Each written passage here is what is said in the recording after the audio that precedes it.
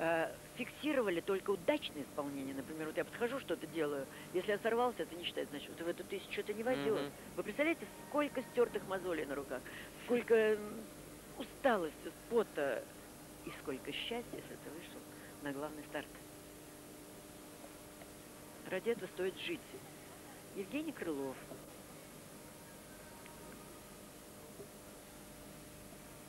Тоже э, мы о нем уже не раз говорили, и он уже опытный гимнаст, мастер спорта международного класса. Это говорит об, определ- об, э, определенном уровне.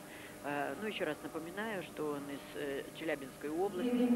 Тренирует его Коротков Андрей Владимирович.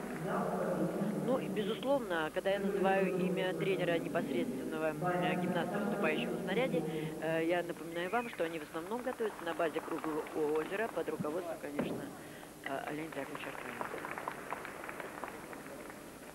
Ну вот он у нас э, в квалификационный день, Крылов, э, где-то тоже был в первый, естественно. Ну, само собой, иначе бы в этой Он разметке он и не, он бы в эту не команду попал. Да. не попал бы, да, шестым он был. Шестой результат сложился из в том числе и оценки на кольцах 9600 тогда.